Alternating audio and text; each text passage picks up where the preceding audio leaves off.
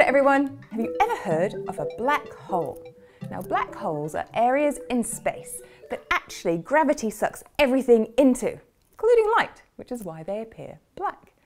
So a rotating black hole is actually created from the collapse of a spinning star and they keep rotating due to something called angular momentum. I'm going to show you how to make a spinning top that uses angular momentum to stay spinning and not fall over using some very simple ingredients.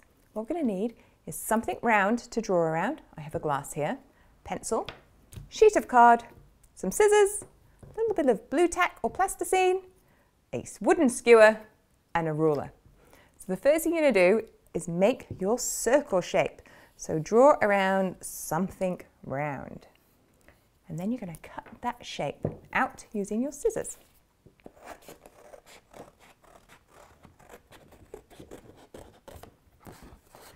Now you need to try and find the center of your circle.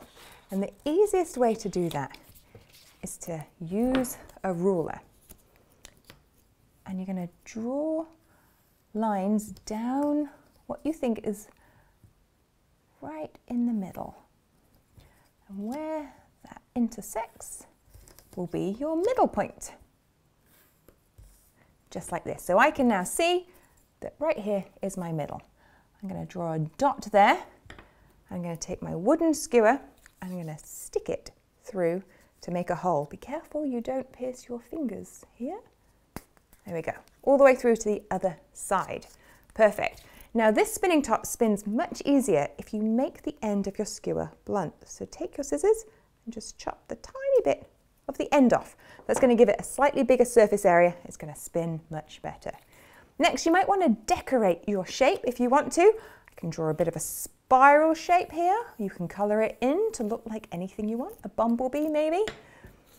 And you're going to take your skewer, put it through the hole that you just made, and then secure it with some Blu Tack.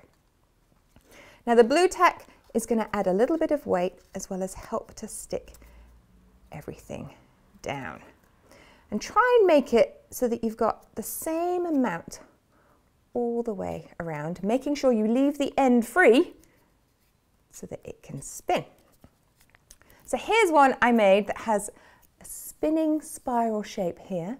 And all you need to do is spin your fingers and let it go on the table and it should spin without falling over straight away. And that is using something called angular momentum.